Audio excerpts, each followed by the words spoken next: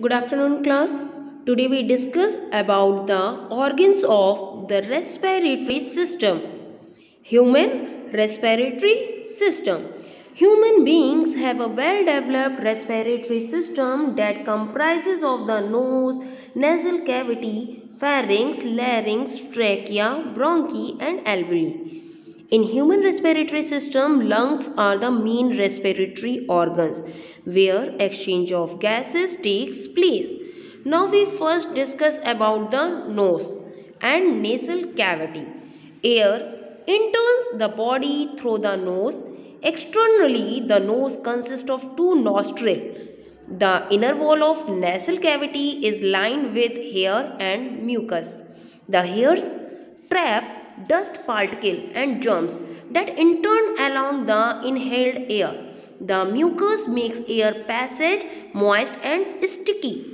The membrane of the inner lining of nose has cilia. The dust particle falling on the sticky surface are swept out by the cilia towards the throat. Now we discuss about windpipe. It is also known as trachea. Trachea is a long muscular tube extending from the larynx in the neck to bronchi in the thoracic cavity. The front opening of trachea called glottis is guarded by the muscular flap called epiglottis. The epiglottis closes the trachea at the time of swallowing of food. Now we discuss about the bronchi and bronchioles. Trachea runs in the middle of the chest up to a short distance between two lungs where it divided into two bronchi. Singular bronchi is called bronchus, the left bronchus and right bronchus. After passing through the trachea, the air intern each bronchus and finally interns the lung. In the lungs, air is pulled into the fine branches of the bronchi and even, even interned microscopic branches called bronchioles. Now we discuss about lungs. The lungs are a pair of spongy elastic organ. They lie in the thoracic cavity protected by the rib cage and rest on a rest on a muscular seat called diaphragm.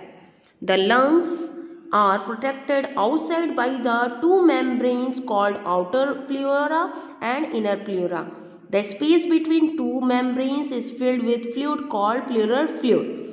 And alveoli, the bronchioles connected to tiny duct that leads into the air sac called alveolar sac. Each air sac has a group of alveoli which are usually surrounded by the blood capillaries. The exchange, gaseous exchange occur in the alveoli of the lung. Blood present in the capillary contains more carbon dioxide than alveolar air. Since the alveoli contain inhaled oxygen-rich air, there is more oxygen in the alveoli than in the blood. This oxygen diffuses into the capillaries from the alveoli. In the similar manner, carbon dioxide diffuses into the alveoli from the capillaries. Thank you class.